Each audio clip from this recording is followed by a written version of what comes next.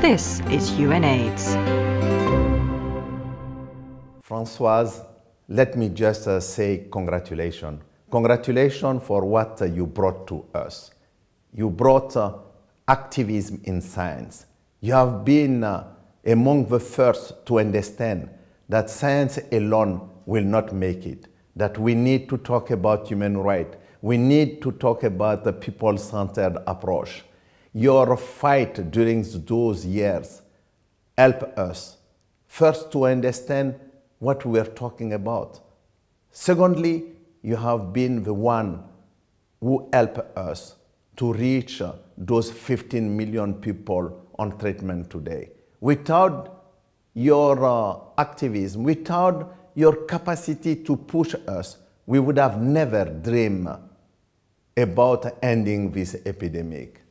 Françoise, tu as été pour nous cette lumière qui nous a aidés à éclairer ce tunnel si sombre au début de la lutte contre cette épidémie.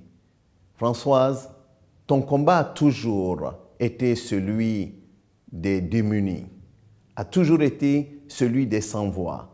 Et je suis convaincu que tu continueras à être notre leader dans cette lutte, que tu continueras à nous pousser pour aller vers la fin de cette épidémie.